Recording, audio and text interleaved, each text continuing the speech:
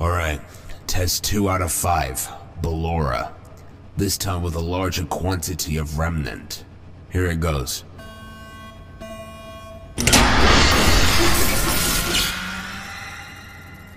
Who goes there?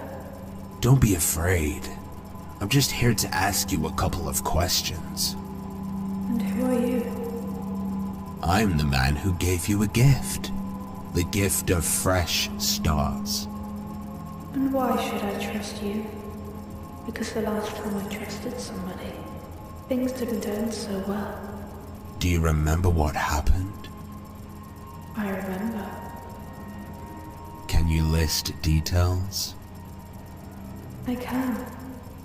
But I don't think I'll share them with you. Listen, I'm the one who gave you this chance to start over.